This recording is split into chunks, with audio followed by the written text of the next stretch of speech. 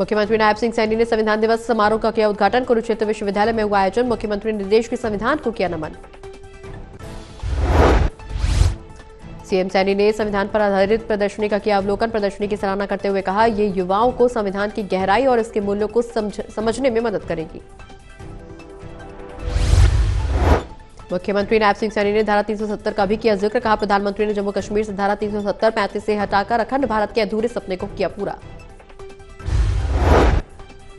समाप्त किया गया। तो एक वहाँ पर वाल्मीकि समाज, जिस समाज को सतासठ वर्षों के बाद अपना वोट देने का अधिकार मिला है, नहीं तो उनको अधिकार। कुरुक्षेत्र में मुख्यमंत्री नायब सिंह सैनी ने कहा गणराज्यों के रूप में स्वशासन हमारी प्राचीन परंपरा, संविधान ने विविधताओं से भरे इस देश को एकता के सूत्र में पिरोया। संविधान बनाने के चुनौतीपूर्ण कार्य में बाबा साहेब डॉक्टर भीमराव अंबेडकर जी का महान योगदान है। और उन्होंने कहा था कि संविधान कितना ही अच्छा क्यों ना हो, ये डॉक्टर भीमराव अंबेडकर जी के ही शब्द हैं कि संविधान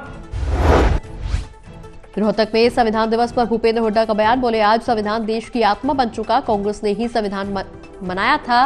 किसी को संविधान को कमज़ोर नहीं होने देंगे। जो है हमारा, आज भारत की आत्मा बन चुका दिल्ली सेंट्रल हॉल में भी उसका मनाया जा रहा है। इसी वास्ते दीपिंदर जो सांसद है यहाँ से आना पड़ा। और आज ये सबका एक ही संकल्प होना चाहिए कि जो संविधान देश की आत्मा बन रहा है। ईवीएम में गड़बड़ी को लेकर कांग्रेस द्वारा हाई कोर्ट में अपील करने पर भूपेंद्र हुड्डा ने कहा, मैंने हाई कोर्ट में अपील नहीं की। लोग हाई कोर्ट में गए, मैंने कहा था, लोकतंत्र और जीत तंत्र में काफ़ी अंतर क्या लोगों ने? मैंने तो ये कहा था, लोकतंत्र जो है, लोकतंत्र, लोक हानि है तंत्र की जीत तंत्र में बहुत सारी चीज़ें होती हैं। देखो, कांग्रेस कांग्रेस का तो स्पष्ट रुख है, कांग्रेस किसान की मांग है एमएसपी की लीगल गारंटी ली जाए तो कांग्रेस प्रस्ताव पास कर चुकी है। डॉक्टर रघुवीर काद्यान ने नेता प्रतिपक्ष को लेकर नाम चर्चाओं में आने पर लगाया विराम बोले कुछ नहीं कह सकता हूँ जब बनाएँगे तब कुछ कह पाऊँगा। डॉक्टर रघुवीर काद्यान ने बीजेपी पर कसा तंज कहा पहले वो अपने गिरिबान में जाके रूस तंज कसना ठीक नहीं कांग्रेस ने देश की आज़ादी में भूमिका निभाई और कुर्बानी भी दी।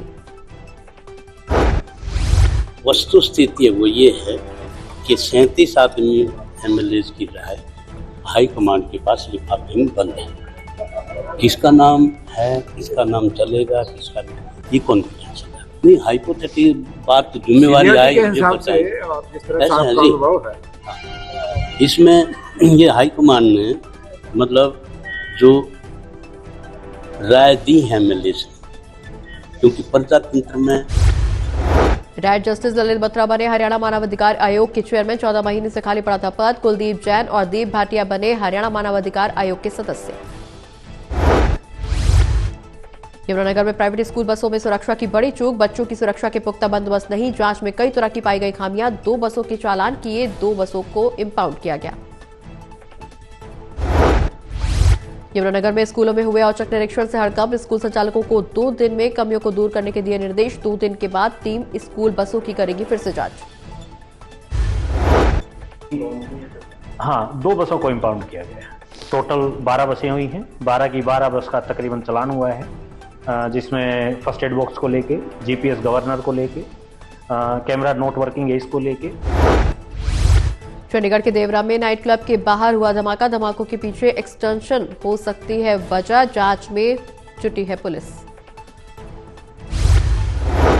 चंडीगढ़ में क्लब के बाहर हुए धमाकों से इलाके में हड़कम धमाकों से क्लबों के बाहर लगे शीशे टूटे टूटे किसी की जान हानि का नुकसान नहीं, पुलिस अधिकारी कर रहे मामले की जाँच। यमुनानगर में ज्वेलर्स की दुकान पर लूट, गोली मारकर लूटे लाखों रुपए के गहने। लुटेरे ज्वेलर लोगों पर फायरिंग करते हुए फरार हो गए।